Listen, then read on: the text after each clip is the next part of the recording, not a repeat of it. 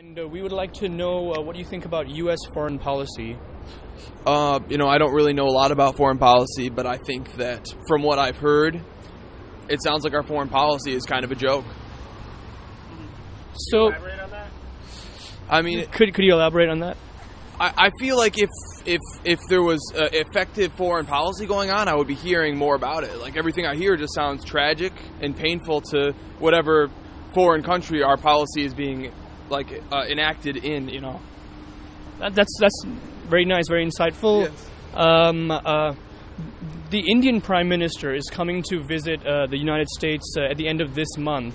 Okay. Uh, what do you think uh, he and uh, President Barack Obama should talk about? I know what you're talking about. Um, I think we should talk about what, what in reality we're doing for the people of India. Um, ha, do, do, I've never actually heard of us doing anything for the people of India. Like, does Obama care about the Indian people?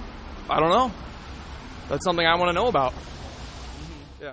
import a lot of Indian people to work here, and we export a lot of jobs there because